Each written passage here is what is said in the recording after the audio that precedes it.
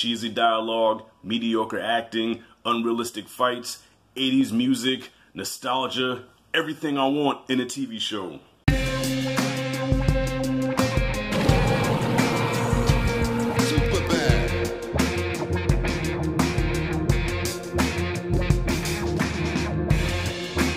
I get if people shit on this show or talk bad about it because it's definitely it's definitely not for everybody. I think it's an acquired taste, but because I'm such a huge fan of the Karate Kid franchise, that first movie is probably one of my not even probably one of my favorite movies of all time. Two was was okay. Three was pretty bad, but there was still some enjoyment in three, and I don't even count that next Karate Kid with Hilary Swank. So I'm a huge fan of the Karate Kid. I got the Cobra Kai shirt on. Look, I this this is my shit.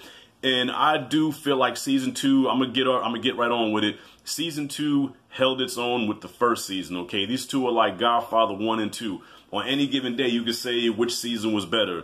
But I think with season one, it captured lightning in a bottle because it was able to take a beloved franchise like the Karate Kid and blend it with the new generation of characters for this uh, universe and blend it seamlessly where you can appeal to a younger generation, please the old heads like myself, and it just it, it, it was magic. Like me and my 13 year old watched these uh these shows and we enjoyed them, and it's very rare you get me and my daughter watching something on the same TV and we both enjoying it and interacting with each other because typically my daughter hates the things that I love and vice versa. Okay, so for that to happen, that was a beautiful thing. So right off the bat, the thing I liked about season two was the theme of redemption. I feel like the theme of this season was redemption. And by the way, I'm going to go into spoilers here, okay? So if you have not seen the show, stop this shit because I'm going into spoiler territory. But because there was just too much to talk about for me not to spoil anything, okay? Because sometimes I hate doing spoiler-free reviews because I just have to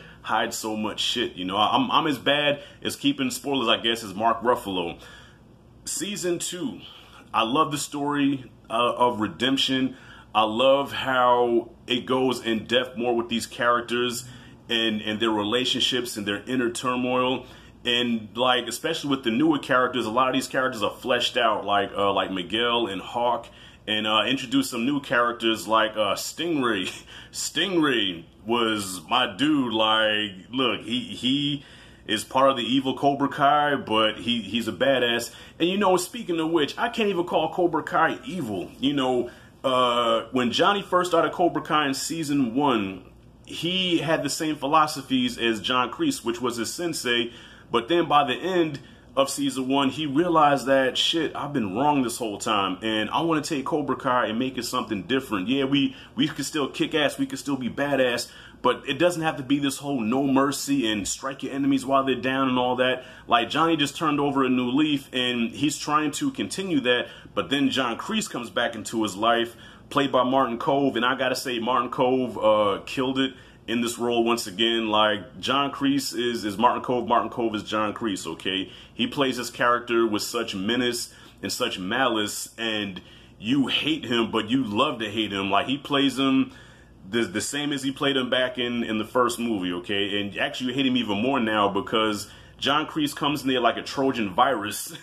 and just methodically takes the dojo away from Johnny. And you see it coming from the beginning but uh, just to see how it unfolds, because Johnny has a soft place in his heart for for Kreese because he was like a father to him. But the last time they saw each other, Kreese tried to choke him out. You know, he tried to fuck him up.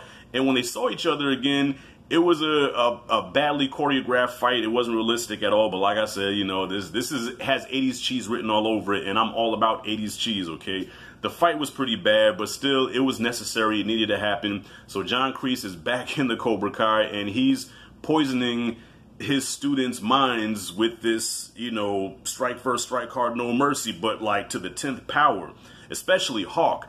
Like Hawk in this season, Hawk has just gone full Darth Vader. Okay, Hawk is like, you see his backstory on how he was a nerd and everything and how he was crying somehow he would never get a girlfriend he's gonna be a loser forever then you see him now and it's like you feel sympathetic for him for like five seconds and then he's back to being an asshole again especially to his best friend uh, Demetri who is like an outcast now because all his nerd friends that were, were buddies with him are now going to do Cobra Kai or Miyagi-Do so now he wants to do Miyagi-Do karate.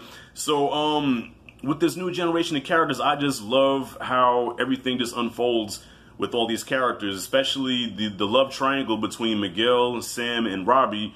And there's a new character thrown to the mix, uh, Tori.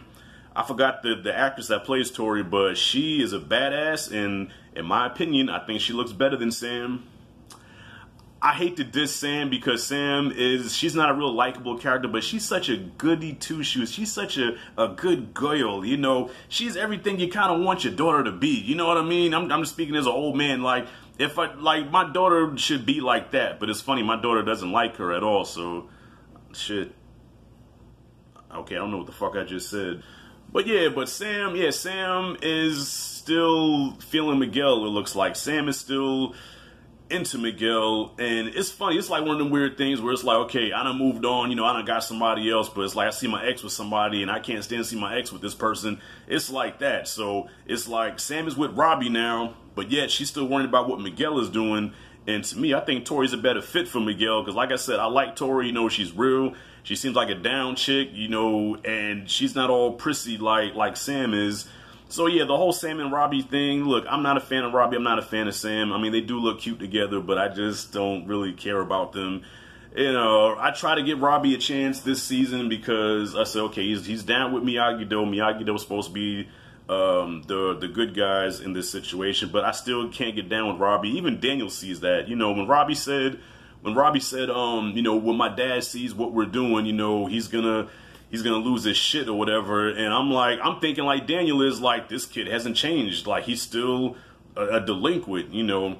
And Daniel, okay, I like Daniel this season better than I liked him last season. Daniel this season, I feel like he's more sympathetic because now he's kind of the underdog because even though he has his car dealership, he's trying to start this new dojo to rival the Cobra Kai. But see, everybody likes Cobra Kai because, you know, on the surface, it's some it's some badass shit. Whereas Miyagi Do, it's all about doing chores and inner peace and balance and all that stuff. Man, kids don't care about that shit. Kids just want to fuck people up, okay?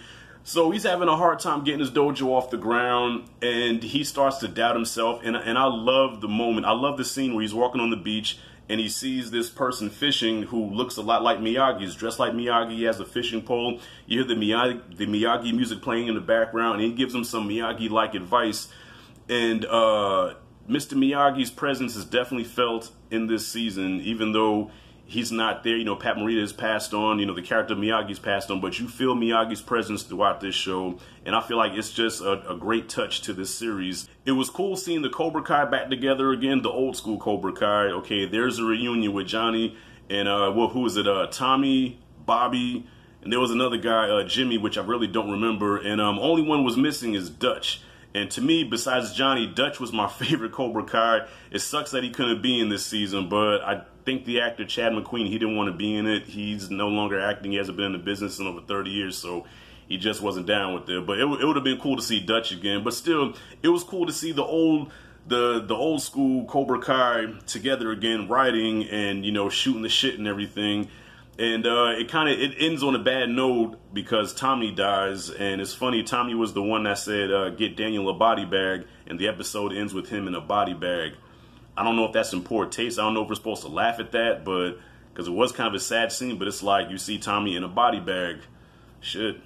This show does not take itself seriously, but when it's time to hit the serious notes, it does it beautifully, but it doesn't take itself seriously, okay? This is a continuation of the Karate Kid, an 80s classic, so it has to have 80s exaggeration all over it, and I love it.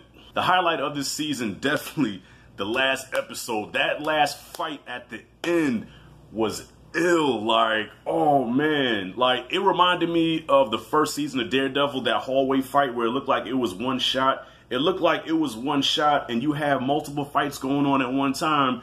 And especially the fight between Miguel and Robbie. And I ain't gonna lie, I mean, I think we're supposed to root for Robbie, but I was rooting for Miguel. I wanted Miguel to win. Miguel did win, and then he showed mercy. And that made me question, okay, was Kreese right the whole time? Is Kreese really the bad guy? Because had Miguel followed Kreese's teaching, he would have broke Robbie's arm and he would have been okay. But because he followed Johnny's way and showed mercy, he let up and Robbie paralyzed him, I guess. I hope he's not paralyzed because we need to see it. We need to have a season three where it ends in a tournament where we have the last match being Robbie and Miguel in a final showdown. That would be crazy. But damn, so it's almost like that first fight with Kreese and Johnny was foreshadowing what was to come later on because the same thing happened with Johnny and Kreese. Johnny had Kreese at his mercy, and because he showed mercy to an old man, Kreese flipped the script and gave Johnny the people's elbow. So I'm like, damn, is the Cobra Kai right and Miyagi Do wrong? Because it does end with Daniel shutting the doors on Miyagi Do, like he's not, he's no longer teaching it now. And then Johnny is left without a dojo and he's no longer Cobra Kai. So it's like, damn, where do these characters go from here? And what's going to happen to Miguel? Like, and it's like, tune in next year. Not next week, but next year. And I'm like, fuck. That's the only downside about streaming these episodes. You have to wait a year to see the outcome of that. But look, y'all, I really enjoyed the shit out of this season. If you're a fan of season one of Cobra Kai, I think you are going to love this. It takes it takes these characters to different places, and I think the execution was just it was it was it was great. It was epic. Look, I I love this show. Okay, giving it a grade, I'm gonna give Cobra Kai season two A plus, my first A plus of the year. What? You giving Cobra Kai an A plus and you gave Endgame an A minus? Man, you don't know shit about movies, motherfucker. Oh, and let's not forget, uh, it also ended with Ali sending Johnny a friend request on Facebook. Because remember when Johnny was uh, sending Ali a, a, message on Messenger or whatever, and I'm like, hmm, she sent him a friend request, and I know she's a doctor, so could she be the one to save Miguel? Because Miguel didn't look too good at the end, and I hated Robbie for it. I really hated Robbie for it. So to me, Robbie is the villain. Okay, I know they tried to set it up last year with Robbie was, you know, you sympathize with Robbie and you you hated Miguel, but nah, I I I'm still Team Miguel. Fuck Robbie, okay. So um, that's all I got, y'all. So what do you guys think of Cobra Kai Season 2? Comment freely below. If you like and dig this the content, make sure you hit that like and subscribe. Thank you for watching. As always, this is Rashad G signing out. See you in the next video. We've had every other song from the first two Karate Kid movies in this show, but we need this song in Season 3.